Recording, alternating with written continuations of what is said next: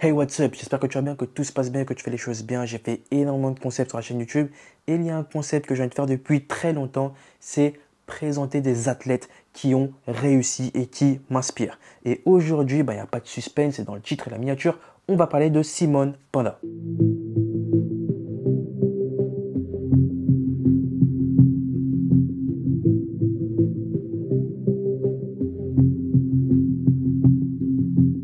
Simone Panda, si tu ne le connais pas, c'est un célèbre influenceur dans le fitness, influenceur slash entrepreneur, originaire d'Angleterre, né le 28 mai 1986 à Londres. Et ce que je ne savais pas, c'est qu'avant la musculation, il avait déjà fait plusieurs sports comme le rugby et le basket. Mais c'est la musculation qu'il a choisi.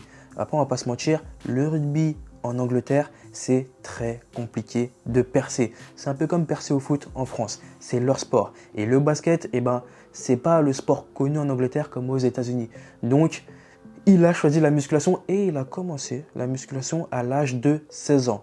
Après, je pense que comme dans, les sports comme le rugby et le basket, tu as des grosses prépas physiques et aussi de la musculation, notamment dans le rugby, je pense que c'est de là que la musculation l'a conquis. Au niveau de son développement en ligne, Simone Pada a commencé à partager son évolution physique et ses entraînements sur YouTube en 2019 par là. Même si, quand on va pas se mentir, il est chargé, d'accord On le sait. Lui, il veut pas l'avouer, mais il est chargé, Sa personnalité, son sourire, son charisme, a fait que ça attire l'attention. Tu vois, on a envie de l'écouter, il a toujours la bonne humeur, tu as envie de le suivre, tu as envie de refaire ses entraînements, ses mouvements, et ça, ça marche. Et au fur et à mesure que sa notoriété est montée, Simone Panda a décidé de s'expandre sur les autres réseaux sociaux comme Facebook à l'époque, bon, ça existe toujours, mais pour moi, c'est à l'époque, et Instagram. Et bien entendu, il incite il propose des programmes d'entraînement personnalisés, des conseils en nutrition, sa marque de vêtements, et il a créé un empire. En tout cas, c'est devenu une figure emblématique dans le fitness.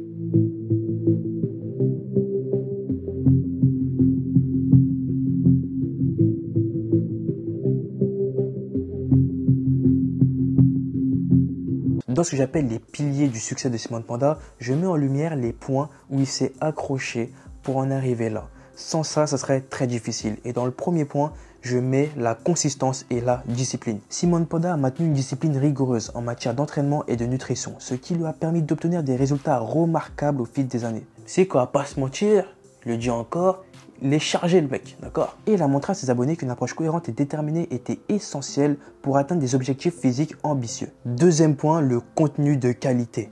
Parce que oui, sur les réseaux sociaux actuellement, si tu n'as pas de contenu de qualité, et eh ben c'est très difficile d'être mis en avant. Simone Panda a toujours veillé à produire du contenu de qualité, en offrant des conseils précieux et des démonstrations d'exercices plus ou moins efficaces.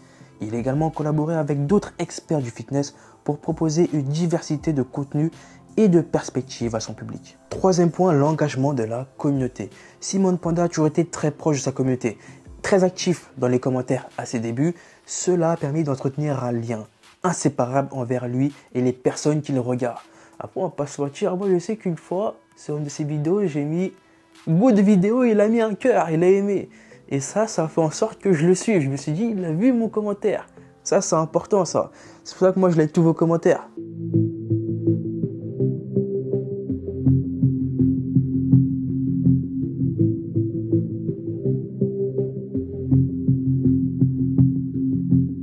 Grâce à son travail acharné et à sa détermination, Simone Panda a acquis une reconnaissance internationale en tant qu'influenceur fitness.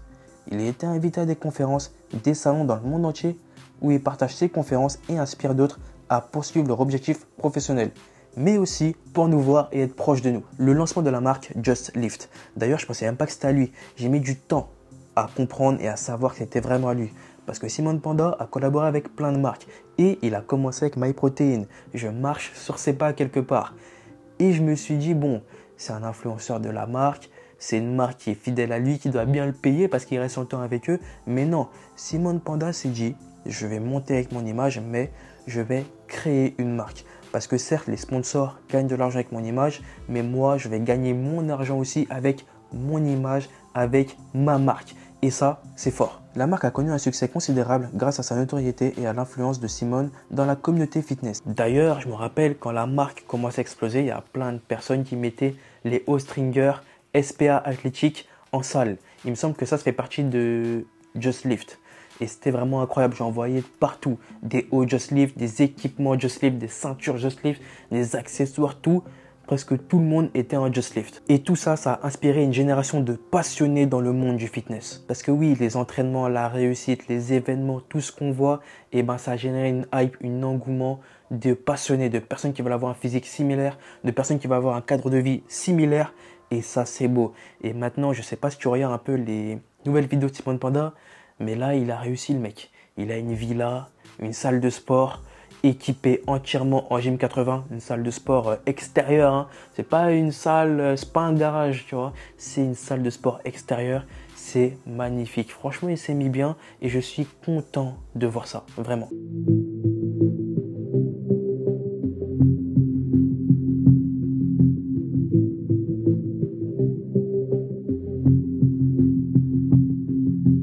En conclusion, Simone Panda est devenu un influenceur entrepreneur fitness grâce à son physique, son état d'esprit et aussi tous les moyens qu'il a mis en place pour réussir, comme la qualité de ses contenus, la création de sa marque, sa vision à long terme envers euh, les, les, choses et aussi l'entretien qu'il a envers sa communauté. Tout ça, ça fait le mélange parfait pour arriver là où il est aujourd'hui. Et je m'inspire fortement de son parcours parce qu'il a avancé d'une bonne façon. Et ce que j'aime beaucoup avec lui, c'est qu'il a su rebondir au bon moment. Il a fait sa compétition de bodybuilding, il n'a pas eu les résultats qu'il espérait avoir. Il s'est dit, c'est pas grave, je vais rester dans le fitness et créer ma propre réussite. Parce que à l'époque où il était, il n'y avait pas encore d'influenceurs, d'athlètes, euh, entrepreneurs. Il y avait juste des bodybuilders et des gros bodybuilders et des bodybuilders stars, tu vois. Lui, il s'est dit, les juges n'aiment pas ma condition, n'aiment pas mon corps parce que voilà, j'ai des grosses épaules, des pecs, euh, une taille très fine. Je rentre pas dans les codes du body euh, de l'ancien temps. Et ben, je vais créer mon code, enfin mes codes pardon, de l'influence. Et il a su faire ça bien.